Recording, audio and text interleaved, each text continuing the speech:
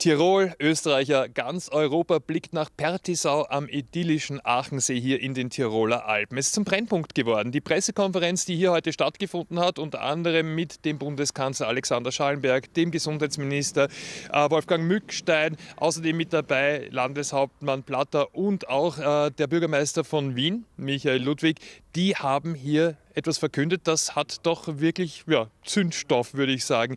Es wird in Österreich eine Impfpflicht geben. Das haben viele äh, bis gestern in die Nacht hinein nicht geahnt. Damit hat wohl kaum einer gerechnet.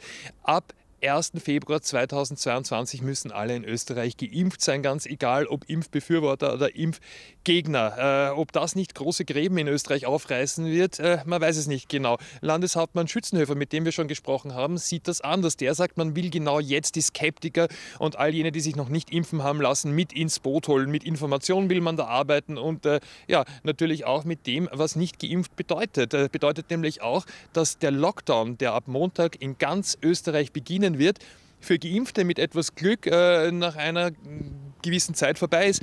Die Ungeimpften, die werden voraussichtlich länger im Lockdown bleiben müssen und außerdem gilt nachher ja noch weiterhin 2G. Also eine schwierige Situation für alle, die sich viel Zeit gelassen haben oder die Impfung total ablehnen. Man soll sich da vielleicht noch mal informieren, am besten beim Arzt seines Vertrauens. Weitergegangen ist mittlerweile die Landeshauptleute-Konferenz, die findet gleich nebenan im Endners statt und auch da werden wir sicher noch den einen oder anderen Landeshauptmann zu uns bieten dürfen, zum Beispiel Mikkel Leitner, die hat sich schon angekündigt, die werden wir auch fragen, wie es denn äh, dazu gekommen ist, dass jetzt in Österreich tatsächlich eine Impfpflicht eingeführt wird.